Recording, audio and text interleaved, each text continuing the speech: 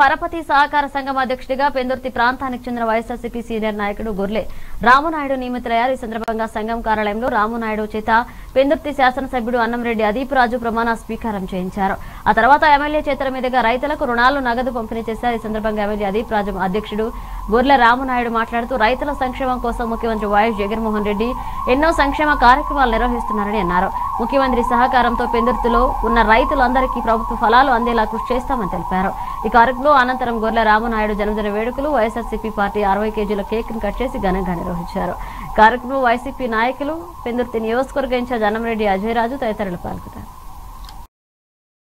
అంటే దానికి కారణం నా వెన్నంటుండి కష్టకాలంలో కూడా నా వెన్నంటుండి నా కోసం అహర్నిశలు కష్టపడినటువంటి నాయకులు కార్యకర్తలు ఎంతోమంది ఉన్నారు.